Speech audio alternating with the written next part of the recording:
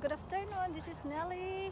Uh, it's uh, 1 o'clock in Canada. This is in the afternoon for us. So I just want to greet you guys, uh, all the viewers of Nelly Santiago at YouTube. Please watch all my my movies and all my videos at Nelly Santiago. Okay?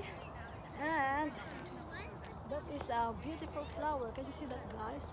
Yeah, wow. Those guys, you see? That's my favorite flowers. Did you see those? Guys, I just want to show you a glimpse of uh, Toronto High Park. Ito po yung dinadayo na parang luneta po sa atin sa Pilipinas. At ito naman po, ito ay mga park namin. Kaya, ay bilit naman po, tuwa po kayo. Ipapasyal ko po kayo ngayon. Ito po magagandang view natin dito. Oh, sige po, oh.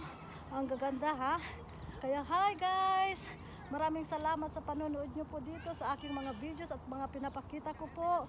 Ito po ay garden at nakakapagbigay po ng kaaliwan at relaxing para sa atin lalo pag ganito pong mainit. Kailangan po nating tumira sa mga park dito. Kaya mga kapatid,